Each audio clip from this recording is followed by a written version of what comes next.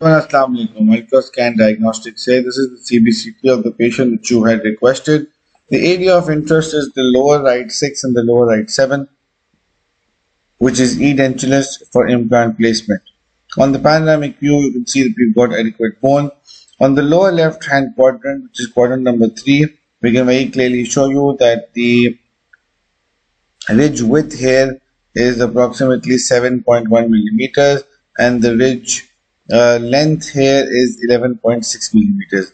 Here a implant placement is definitely possible because the uh, bone quality here is D2. Moving to the left hand side, the right hand side, my apologies.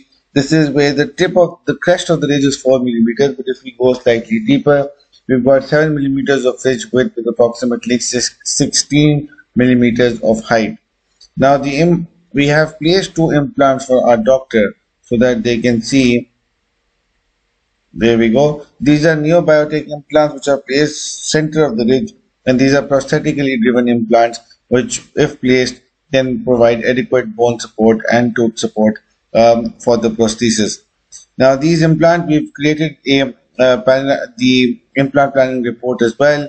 The implant on the right will need to be placed slightly deeper uh, if uh, adequate bone on the buccal and lingual aspect is required. Both areas have the to quality of the bone and hence implant placement is definitely possible.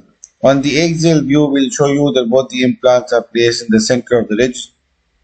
The ridge on the right hand side is thinner than the ridge on the left hand side, but if placed in the center, it will have adequate bone support.